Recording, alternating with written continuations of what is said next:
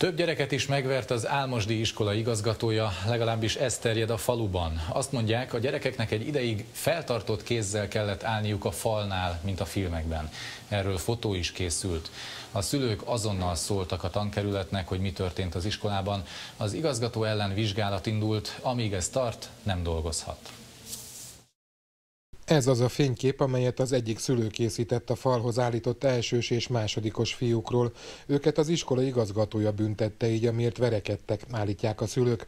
Az elsősök között kezdődött a vita, aminek verekedés lett a vége. Dominik hátrafordult és belefirkált a füzetembe, és az akkor történt a verekedés, mikor sorakoztunk, de azt csak Ágyi tudja, hogy hogy. Ezek után avatkozott a történetbe a kislány osztálytársa.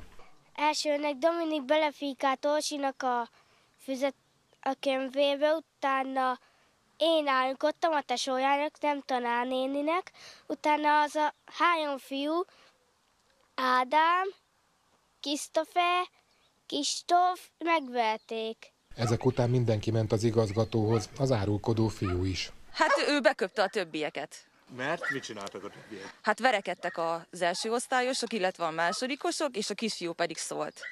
És mi történt ezután? Hát ezután talán az igazgatóiba kellett menniük, ott kaptak egy fejbevágást pecsétgyűrűvel, aztán a falhoz állította őket.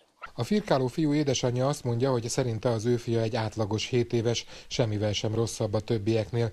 Azt mondta, hogy amikor meghallotta, hogy milyen büntetést kaptak, akkor próbált beszélni az igazgatóval. Felkerestem igazgatóra, ő nem kívánt velem beszélgetni, ott hagyott faképnél, mentem utána az utcán, egyik szavával azt mondta, hogy nem tudja, miről beszélek, utána azt mondta, hogy megérdemli a gyerek, hogy a gyerek mi jogon rúgta meg a társát.